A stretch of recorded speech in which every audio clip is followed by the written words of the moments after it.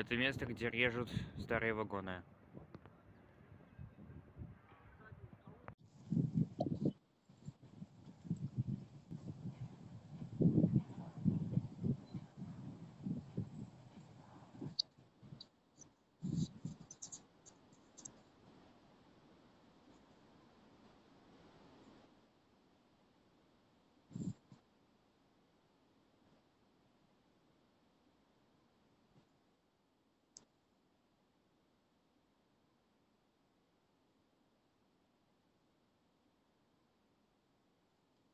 Да ничего, главное, чтобы меньше сэкономить, чтобы я смог тоже сэкономить. Если ты даешь часть, я тоже.